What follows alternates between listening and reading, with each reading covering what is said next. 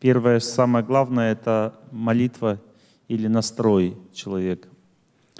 Молитва — это способ соединить себя с источником счастья.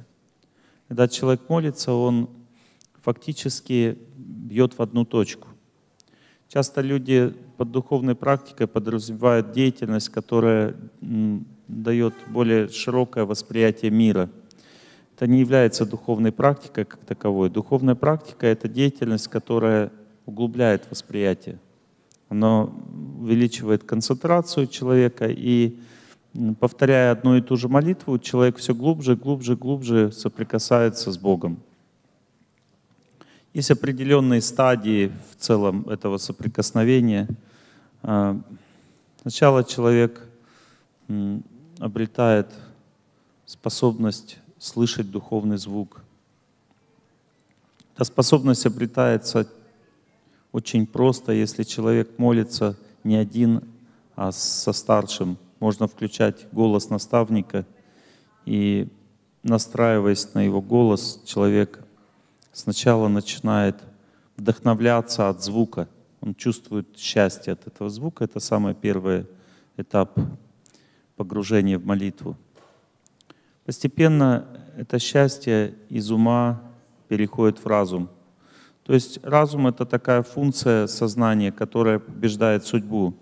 И этот, эту функцию всегда нужно включать. Она в обычной жизни выключена. Включение разума означает соединение себя с источником счастья. Потому что разум — это такая функция, которая наполняет нашу жизнь счастьем. Счастье к человеку приходит из двух источников. Первый источник — это наше желание — если у меня хороший период жизни, то если я чего-то хочу, то это осуществляется. И, и это означает, что это счастье уже запрограммировано в нашей жизни. Но чаще всего то, что я хочу, не осуществляется, поэтому этот источник счастья ну, непостоянный, нестабильный. Но когда человек, слушая голос наставника, который тоже молится, можно это просто включать записи, он вместе с ним начинает молиться, то в этот момент он начинает чувствовать вдохновение от этого звука, и это означает, что включается духовный разум человека. Этот разум призван побеждать судьбу. И это первый этап молитвы. Второй этап молитвы приводит к тому, что вдохновение постепенно из ума переходит в разум — и человек чувствует вдохновение в сердце в этот момент, у себя в сердце. Когда вдохновение появляется в сердце, то в этот момент наши ниточки, все связи с близкими людьми, они включаются, потому что человек обычно живет в замкнутой системе. Он не соединен с близкими людьми, потому что они все у нас забирают счастье. Когда мы переживаем о родственниках, когда мы думаем о близких, о друзьях — это все забирает у нас счастье, и часто человеку себе даже счастья не хватает, поэтому мы находимся в замкнутой системе обычно. Ну, то есть эти ниточки работают очень слабо. Наша связь с близкими очень слаба в обычной жизни. Но когда человек на эту вторую стадию молитвы переходит, то у него появляется ощущение, чувство радости в сердце. До этого он просто радовался, а тут он начинает реально вот здесь вот в области сердца чувствовать радость.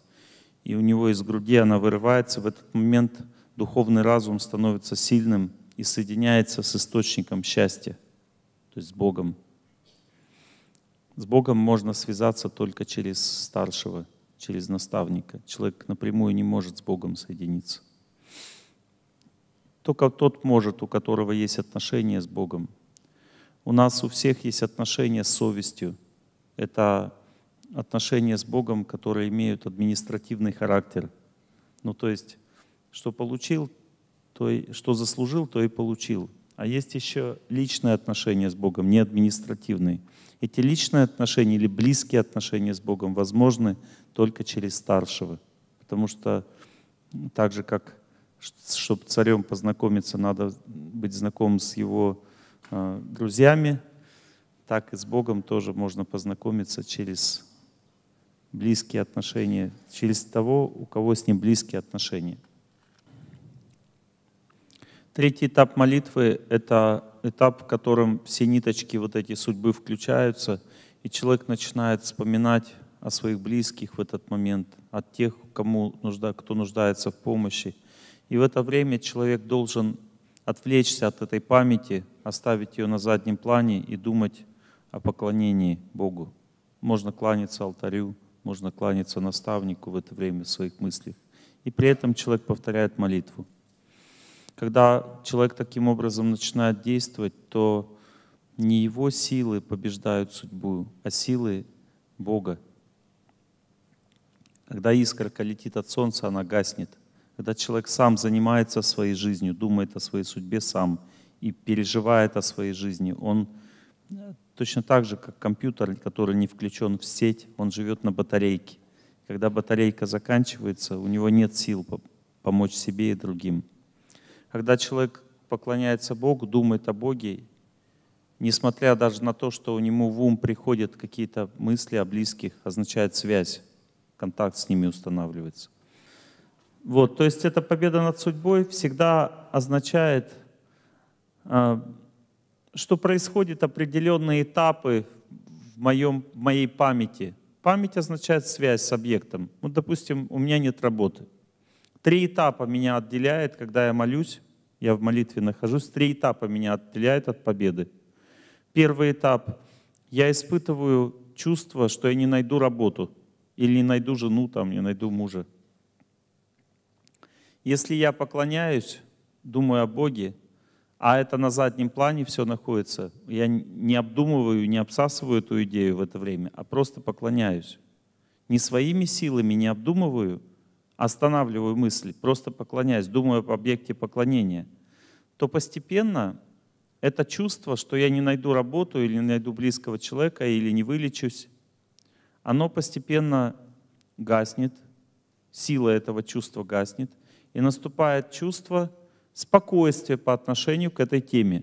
Такое ощущение, что как будто бы я ее уже почти нашел, эту работу, просто меня что-то до этого отделяет. Это первый этап победа над судьбой. Второй этап, человек продолжает молитву, у него появляется знание, что делать, как себя вести, чтобы найти работу. Или найти близкого человека, или вылечиться. И на третьем этапе идет приближение к объекту. То есть человек уже начинает влиять на ситуацию. Он уже способен правильно общаться с работодателями, способен привлечь себе ну, человек начинает привлекаться к нему близкий. Ну, то есть уже как бы идет приближение.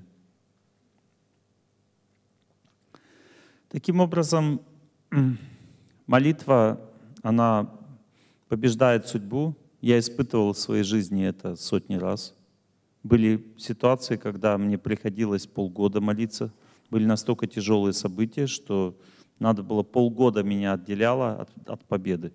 Бывало, что несколько дней, бывало несколько часов. Есть разные как бы, пласты судьбы, и всегда, когда человек вместе со старшим молится, то победа гарантирована. Вот представьте в вашей жизни, если что-то должно произойти, и вы знаете, что победа гарантирована, вы все равно не потеряете себя, близких там и так далее в этой ситуации. Бывают, конечно, случаи, когда Господь говорит сердце, что это непреодолимая судьба, ничего не сделаешь. Такое тоже бывает. Итак, молитва или настрои, которые связаны с Богом, они дают победу над судьбой. Познать это является высшей целью человеческой жизни. Медитация на Господа, на поклонение является высшей высшей цели жизни и делает жизнь осознанной и счастливой.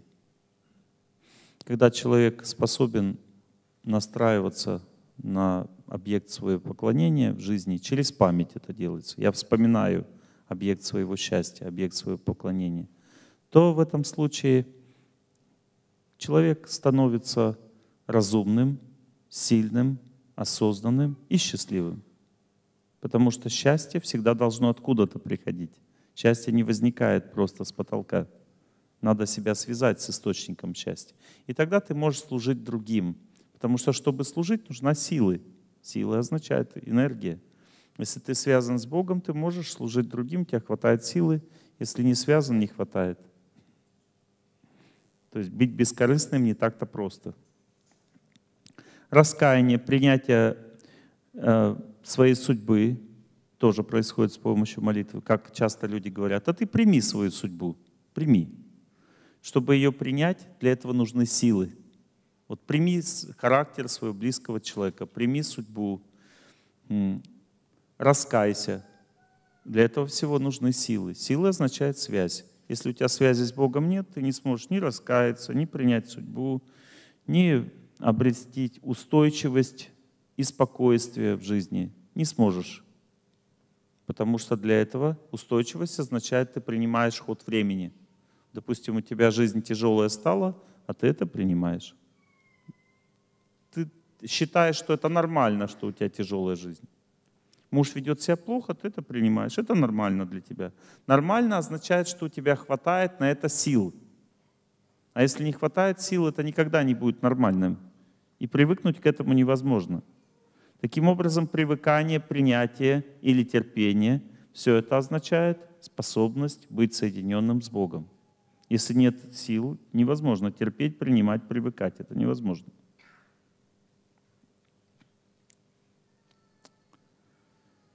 Достижение чувства баланса и гармонии таким образом означает, что человек все ниточки своей судьбы, все связи с близкими, с родственниками наполнил энергией счастья, хотя бы на первом уровне. Когда в сердце просто спокойствие наступает, после молитвы это значит, что уже у меня в жизни все хорошо. То есть, может быть, родственники болеют, но, по крайней мере, я сделал все, что нужно от меня. То есть на первом уровне, потому что есть еще второй уровень соединения с родственником и третий уровень влияния на него. Но для того, чтобы эти два уровня пройти, надо нацеливаться конкретно в эту сторону. То есть помнить об этом во время молитвы. Первый уровень означает, что я всем отдаю столько, сколько надо сейчас энергии. Но человек берет энергию и сам там побеждает. Но чтобы за него победить, я должен памяти это время молитвы держать. Понятна разницу? Что обычно у меня спокойствие, значит, я все делаю для всех, сколько надо. Спокойствие в сердце. Если вы, вас беспокойно в сердце, значит, вы не все в своей жизни делаете как надо. Недостаточно трудитесь душой. Беспокойство означает, баланса нет. Это значит, что вы что-то поставили выше чего-то. Если человек выше всего ставит духовную жизнь, молитву, означает молитва раз, медитация на высшую цель жизни два, раскаяние, принятие, обретение устойчивости и спокойствия три, достижение чувства баланса и гармонии как результат всего этого означает, что у тебя есть возможность дальше жить. Поэтому если человек с утра не помолился, не позанимался духовной практикой, он не имеет возможности нормально дальше жить. Он будет жить несчастным, напряженным, раздраженным, усталым, разочарованным, гневливым и так далее, в зависимости от того, что там не, проработано в сердце.